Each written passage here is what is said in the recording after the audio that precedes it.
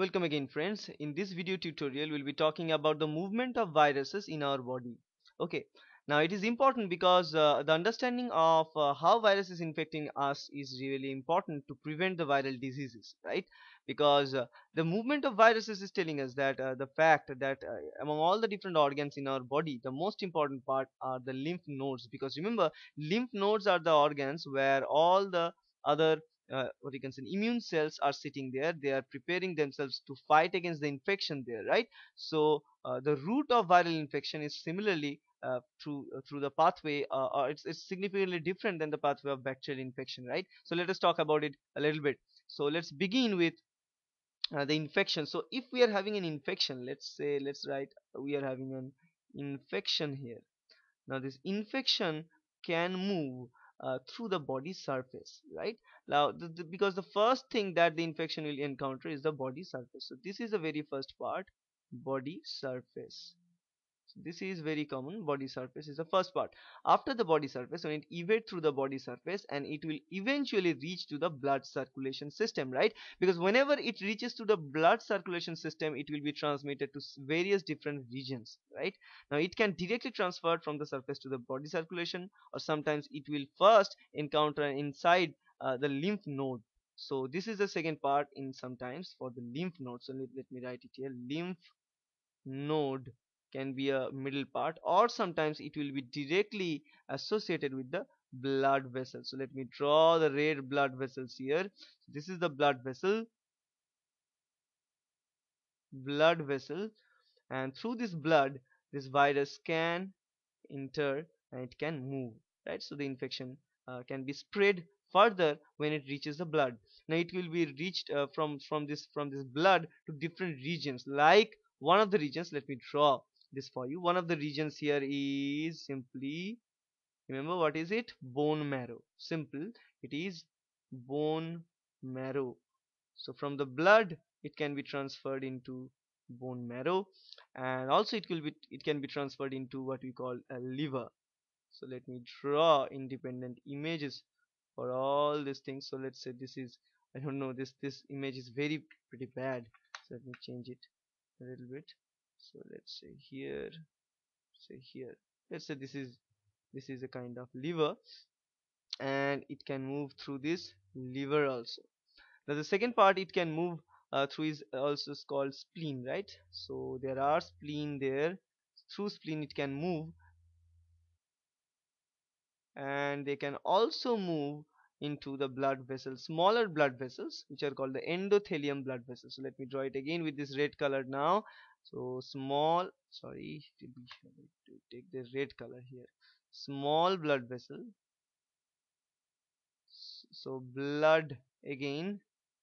And through this blood vessel it will migrate to a second line right? So it is called the endothelium. So let me write it here. This is endothelium.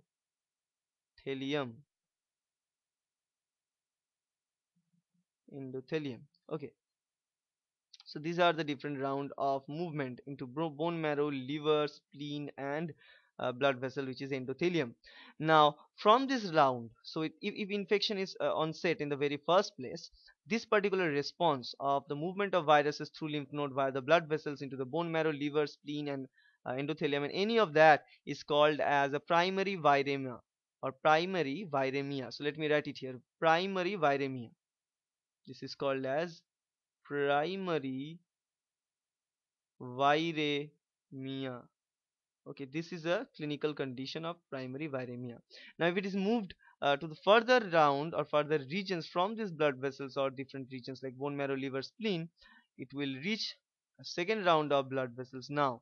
So when it reaches the second round of blood vessels so let me talk about it.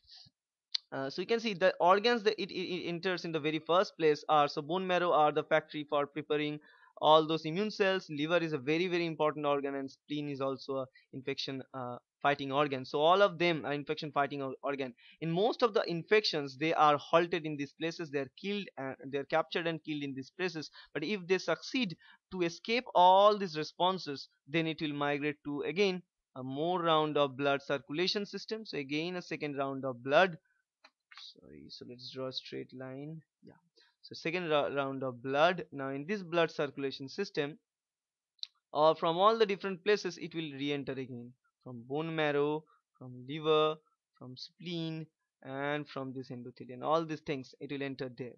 Now from this region again they will be disintegrated. So first disintegration that we can see is nasal or oral mucous membrane. So it can colonize. Now further we are talking about now as colonization. So colonization first infection is onset now it, they are escaping all these responses and now they are colonizing the human body.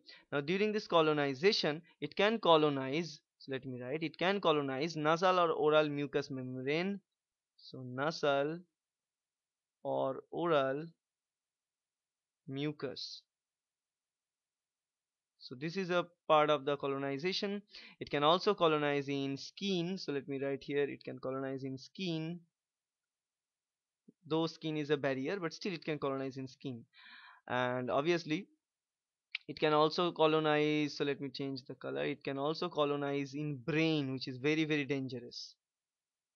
They can colonize in brain it is it is much much more uh, kind of dangerous thing to to see right? So if I draw the brain here like that green brain and and also it can colonize in a lung or salivary glands or kidneys. So these are the places that can further be colonized. So it can be lungs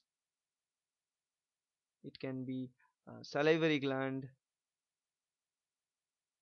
right? And it can also be kidney. So these are the different regions where they can colonize further okay and uh, let us talk about some example of all these cases. Now the examples we will we are going to talk about are let's say in case of those viruses that can colonize uh, through this bloodstream into the nasal or oral mucous regions our example is rubella. Rubella virus. This is one example for that.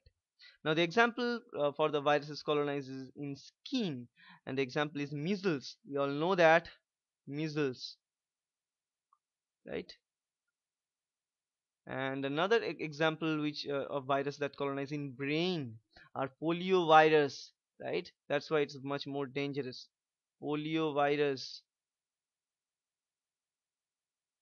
and the virus that colonize in lungs or it can be in salivary gland kidney and all these things. Examples are mumps and cytomegalovirus. So let me write the example. So it can be mumps mumps virus or cytomegalovirus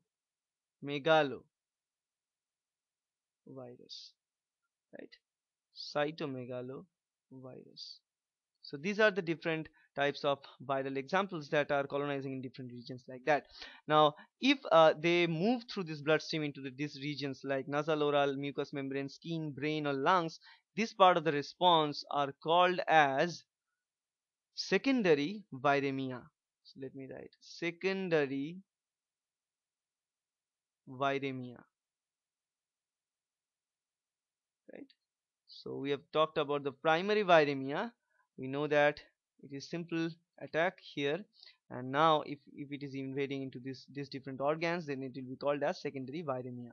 Okay so during this movement of the virus from one place to another place it encounters immune system or immune barriers right? So let me write it here. It, it, it encounters usually immune barriers. Immune barriers. But if they are succeeding uh, to go against the immune barriers then only they can cause diseases. Otherwise they can't right? So that's it. And i hope that's helpful thank you